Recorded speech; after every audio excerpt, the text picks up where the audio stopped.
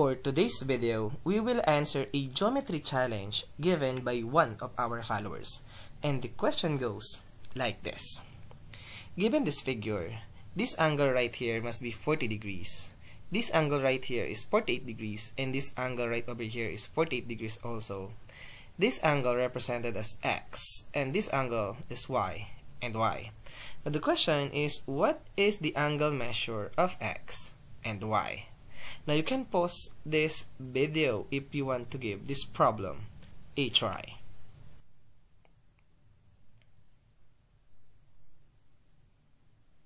And now, let's answer this question together.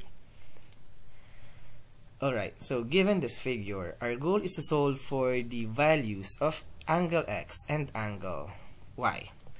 Now, to answer this question, of course, we will use some theorems but before that, let's focus on this triangle. Now, one concept to be used is this concept.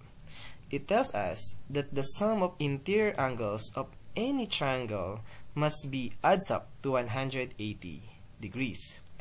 Now, we have 40 degrees right over here. We have 48.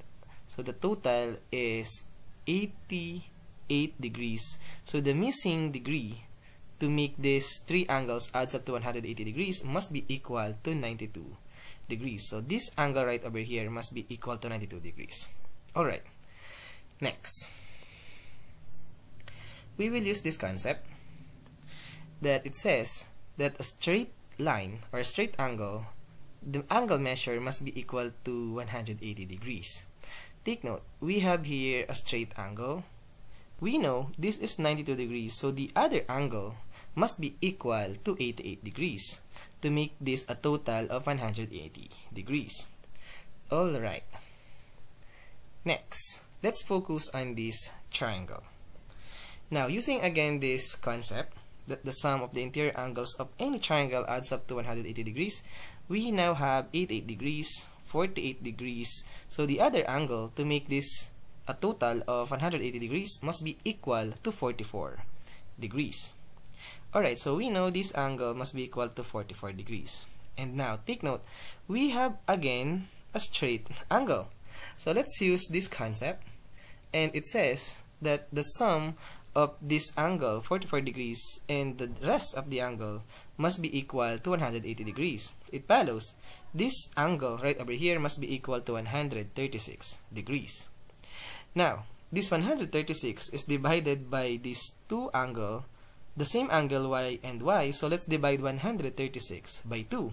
Therefore, the value of angle y must be equal to 138 divided by 2 or simply equal to 68 degrees. So we found the value of angle y which is 68 degrees. Alright, so now how about the value of x? Using again this concept, let's have a straight angle right over here. So we know the sum of this angle, this angle and 88 must be 180 degrees. Or we can say that this angle is a vertical angle of this angle which is 92 degrees. So we can say this angle is 92 degrees. Now, let's focus on this triangle to finally solve for the value of x.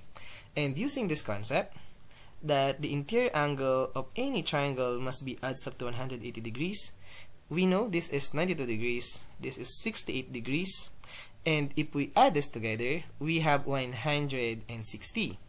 Therefore, the remaining angle or this angle x must be equal to 20 degrees. Therefore, we found the value of y, which is 68 degrees, and we know also the value of x, which is 20 degrees, and that is our answer to this question. Therefore, our answer to this geometry challenge, x equals 20 degrees and y equals 68 degrees. And as always, we are done.